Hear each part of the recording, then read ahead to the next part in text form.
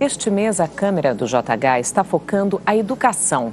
Hoje nós vamos mostrar como as redes sociais são utilizadas por alguns estudantes para agredir e difamar os colegas.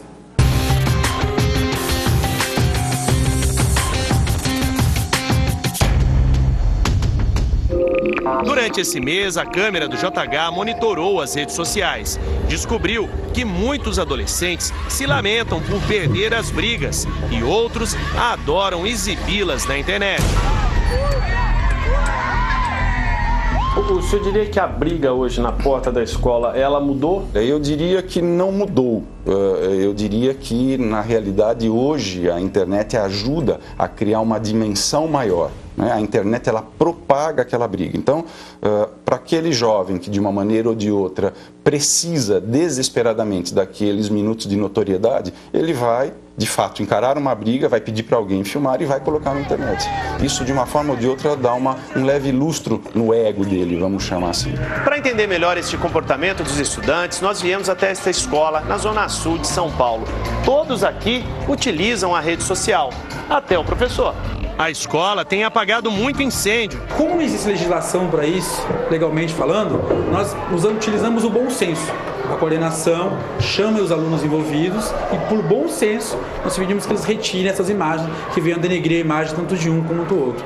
Tá? Mas a escola é, acaba sendo o que? Uma mediadora aí de conflitos. Mas a escola não pode, de maneira nenhuma, chegar, obrigar aquele aluno ou aquela pessoa a tirar a determinada informação.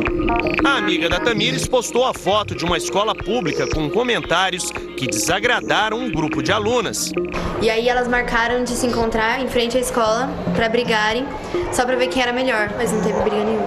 Elas foram para brigar? Foram. Foi ela e umas cinco meninas. E aí quem segurou? A escola. A amiga de Mariana apanhou porque ficou com um ex-namorado de uma garota. Minha amiga tava descendo da perua, aí a outra já pegou de impulso e jogou ela no chão e começou a bater nela. Tipo, não teve como ela reagir. E alguém filmou essa briga? Filmou. Teve uma amiga dessa menina que veio bater, filmou e colocou numa rede social. E qual é o limite entre a encenação para aparecer e a violência? No Rio Grande do Sul, esse jovem de 14 anos apanhou de 10 adolescentes dentro da sala de aula.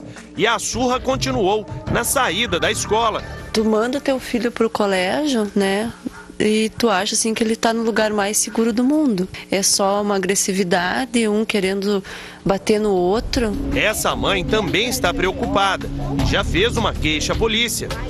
A minha filha hoje podia estar morta. A filha dela apanhou de colegas de escola com idades entre 16 e 17 anos. Na internet, o grupo de amigas se intitula As Megas e exibem uma foto com armas. No perfil da líder está escrito que para acompanhá-las é preciso ser bandida. Ela tem medo deles voltarem, matar ela porque outras ameaças depois disso já surgiu. A doutora Albertina trabalha com jovens que de alguma forma sofreram o cyberbullying. O termo está sendo utilizado para diferenciar o assédio via internet. Ela diz que as escolas precisam começar a trabalhar de uma forma mais ativa o uso das redes sociais. Ela lembrou que é preciso tomar alguns cuidados. Por uma questão cultural, os adolescentes brasileiros adoram uma brincadeira. Saber diferenciar esse tipo de atitude do que é assédio é um desafio. Se no momento ele tem um milhão de amigos que o rejeitam, então ele se sente extremamente abandonado. Mas se o adolescente for preparado, for acolhido, ele pode realmente discutir e verificar que aquele comentário não pode atingi-lo daquela forma.